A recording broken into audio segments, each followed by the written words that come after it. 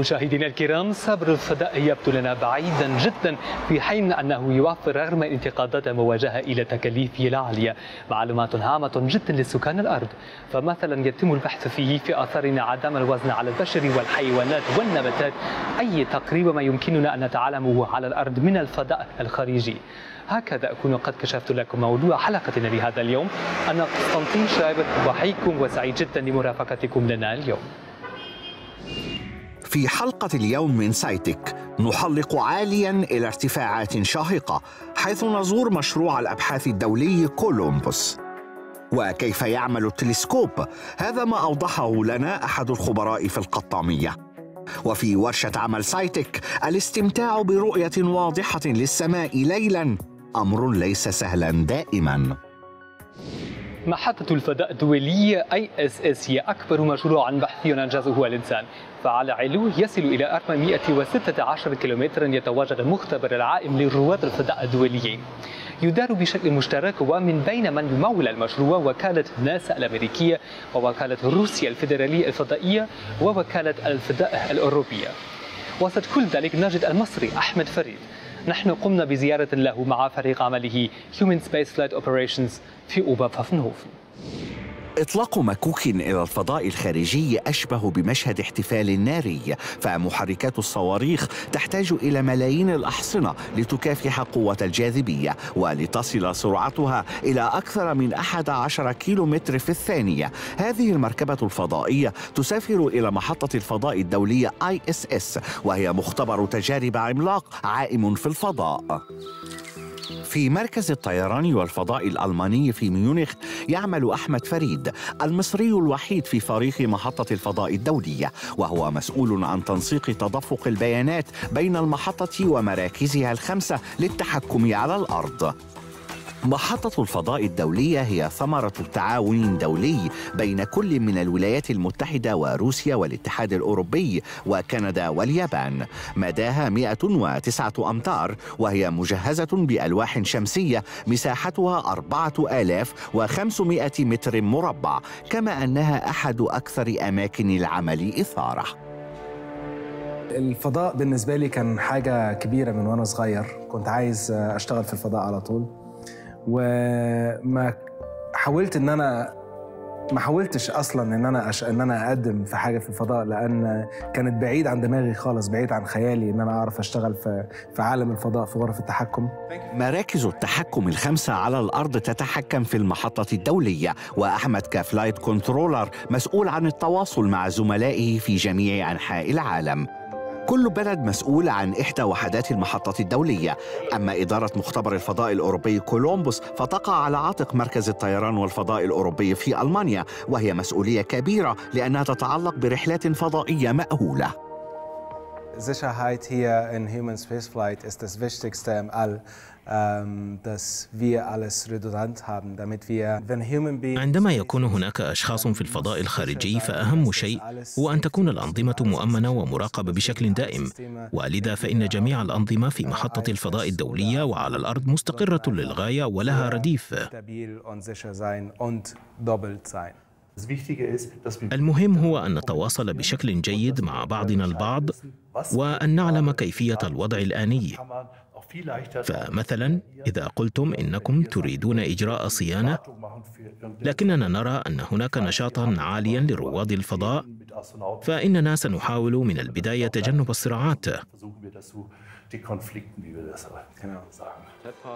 أكثر من 75 عالما يتناوبون على العمل في غرفة تحكم مركز الطيران والفضاء الأوروبي.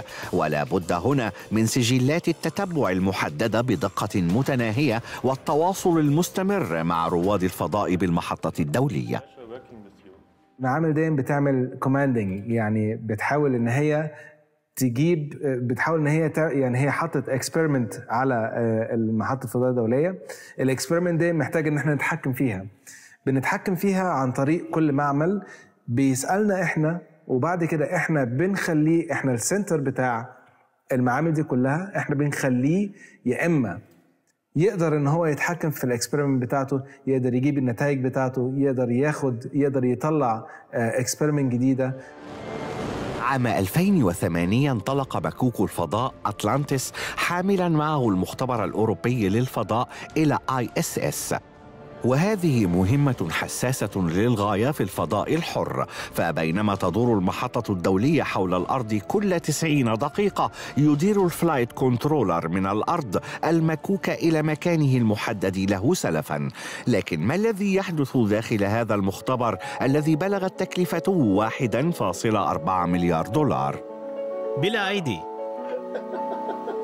رائد الفضاء الإسباني بيدرو دوق كان أول إسباني ضمن بعثتين فضائيتين إلى المحطة الدولية مختبر كولومبوس متعدد المهام يتسع لثلاثة رواد على الأكثر لإجراء التجارب في مجالات علوم المادة وفيزياء السوائل والكيمياء والتكنولوجيا الحيوية والطب لكن ما هو عمل رائد الفضاء في المختبر؟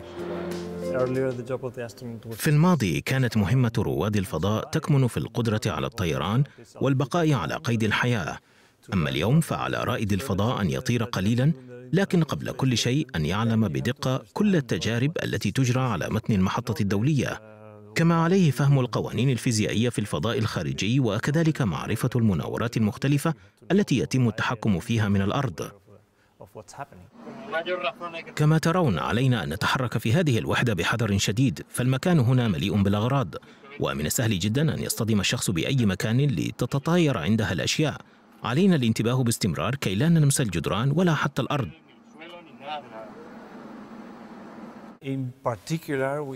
تستخدم المختبرات المختلفة على متن محطة الفضاء الدولية لإجراء تجارب لا يمكن إجراؤها على الأرض. فبانعدام الجاذبية يمكننا تحقيق نتائج مختلفة كليا وبالتالي اكتشاف أشياء لم نكن لنتصورها. يمكن لمن يعمل هنا تتبع التجارب. يمكنكم مثلا رؤية ما الذي علي فعله يوميا. هذه لائحة بالأوقات المحددة. أنقر بالماوس على أحد هذه الأنشطة ويقول لي الكمبيوتر افعل هذا وذاك. وهذا هنا هو نظام الدعم الذي ابتكرته للوقوف على الركبتين. لنرى معا من النافذة. هذه الوحدة لديها نافذة واحدة فقط لكنها كبيرة وتوفر منظرا رائعا. وحاليا نطير فوق الجزء الجنوبي من المحيط الأطلسي. محطة الفضاء الدولية هي مكان ليس لدى البلدان المختلفة خيار آخر سوى التعاون فيما بينها. وهذا يبين لنا أنه يمكننا معا تحقيق كل شيء. كيف يمكن للبلدان التي لم يكن لديها يوما ما رائد فضاء المشاركة في هذا البرنامج؟ كمصر مثلا. هذا مجد فقط إذا كانت للبلد فائدة حقيقية من ذلك. ولذلك يجب أن يكون هناك علماء يجري لهم رائد الفضاء الأبحاث. كما يجب توفر التقنيات المهمة في استكشاف الفضاء. لكن أن يتم إرسال رواد إلى الفضاء الخارجي وإعادتهم فقط هذا ما لا أوصي به. المهام الأكثر إثارة وخطورة لأي رائد فضاء هي space walks أي الأعمال خارج المحطة الدولية. ولذلك يرتدي الرواد ألبسة فضاء خاصة مجهزة بإمدادات أكسجين نقالة وفيها طبقات مختلفة من المواد لحمايتهم من الإشعاعات الكونية ومن النيازك الصغيرة جداً. يحتاج رائد الفضاء إلى تدريبات مكثفة قبل أن يرتاد الفضاء الخارجي فكل رائد يزور مراكز تدريب دولية مختلفة ولتعلم أعمال معقدة في ظل انعدام الجاذبية يتم التدرب في وحدات تحت الماء. لكن المرء يحتاج إلى الكثير من التحضير حتى يصل إلى تدريب كهذا. You have to ليصبح المرء رائد فضاء عليه أن يدرس بكثافة وعليه أن يكون لائقا رياضيا وسليما من الأمراض. كما عليه ممارسة أشياء عملية كتسلق الجبال أو الغوص أو قيادة الطائرات. إلى جانب ذلك يحتاج المرء إلى الحظ. إذ عليه أن يكون في المكان المناسب وفي الوقت المناسب وفي العمر المناسب والجنسية المناسبة. لكن إذا أراد المرء أن يصبح رائد فضاء ولم يحالفه الحظ فهو لا يزال يحتفظ بأفضل الشروط ليكون إنسانا ناجحا جدا في الحياة. حتى اليوم لم يكن هناك في تاريخ الرحلات الفضائية المأهولة أي رائد مصري لكن أحمد يريد تغيير تلك المعادلة فهو المصري الوحيد في International Astronautical Federation كما أنه يتواصل دوريا مع المدير التنفيذي للاتحاد من أجل تعزيز دور مصر في الرحلات الفضائية المأهولة. كيف يمكن لمصر أن تصبح عضوا رسميا في الاتحاد الدولي للملاحة الجوية IAF وما هي أهمية ذلك لمصر؟ نحن منفتحون على كل البلدان التي توصلت إلى معرفة المنفعة الاجتماعية والاقتصادية للأبحاث الفضائية على تطورها. ومن هنا فإن مصر دولة مهمة ومفيدة لاتحادنا. فلو كان هناك في مصر وكالة فضائية رسمية أو مكتب تابع لوزارة ما وكان مهتما بالانضمام إلينا سنكون سعداء جدا لدعوة مصر لتكون عضوا ولاعبا جديدا بيننا.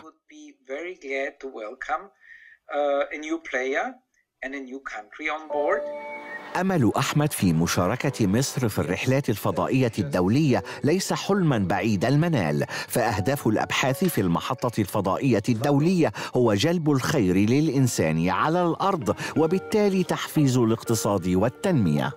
لما بدأت أدور على اسم الجهاز وعلى الجهاز اتعمل إزاي ومتعمل من إيه لقيت إن الجهاز دون ال development بتاعته التطور بتاعه حصل من محطة الفضاء الدولية اللي هي ال ISS أول ما قريت إن هو معمول على ال ISS لقيت نفسي قلت أنا حاولت أو بحاول إن أنا أساعد بطريق غير مباشر والدي.